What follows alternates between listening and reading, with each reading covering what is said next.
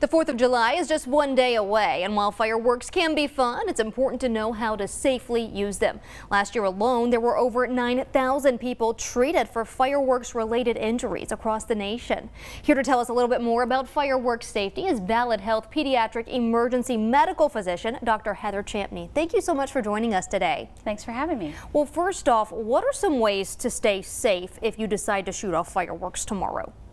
Well, the primary way to stay safe is to let the professionals do it. Yes. So um, find something in your area that are that are performing and go and enjoy that with your family and leave the rest of them to the professionals.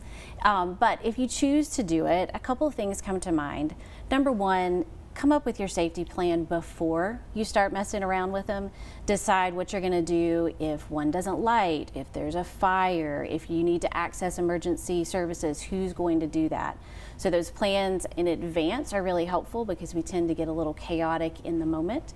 Um, and then obviously, big open range, so you don't want to do it in a close area where things can ricochet and you don't want anyone standing really close to it. Make sure if you're going to shoot them off, just do one at a time. Don't try to do multiple and put on your own grand show. Um, the most common age group that enters the emergency room for firework accidents are 15 to 19 year old males followed by five to nine year olds.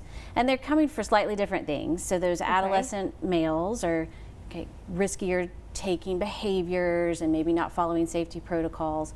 And then the little ones are coming from sparklers, like those little handheld things that look really pretty, but they're really hot. I mean, they're like 2,000 degrees, so they'll get burns or they'll catch their clothes on fire, those, those types of things, because they're just they're just not ready to handle those sorts of things. And you just led into my next questions, you know, especially with those young kids. We know oftentimes parents are handing out the sparklers and they're going to everybody, anything handheld.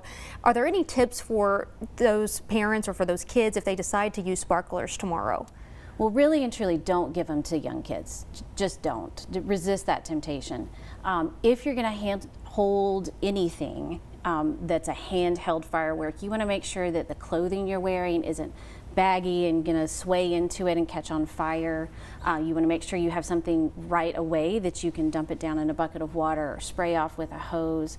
Um, and if you do if you are holding it, you want a good bit of space. So make sure you keep those little ones away and the bigger ones as well so that they're not running into the fray of those sparkles that are coming off. And when should you go to the emergency room and when should you maybe treat something at home?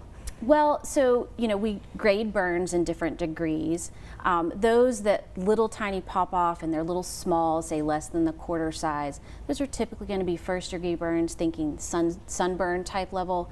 Um, those often don't need medical care, but anything that's bigger, anything that um, the pain seems to be out of proportion to the injury, or if you just don't know, go be seen. Um, so in the immediate moment when you when you sustain a burn, you want to put cool, not cold, but cool water or a cool compress on it for about five minutes or so to try and stop the burn.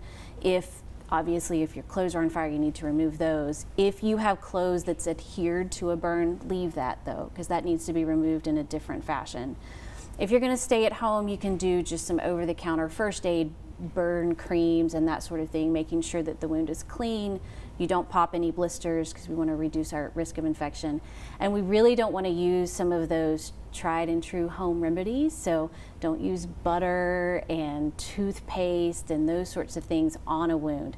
Clean it, and if you're going to use anything, an over the counter um, um, antibacterial kind of ointment would be appropriate. And if in question, just come to the ER.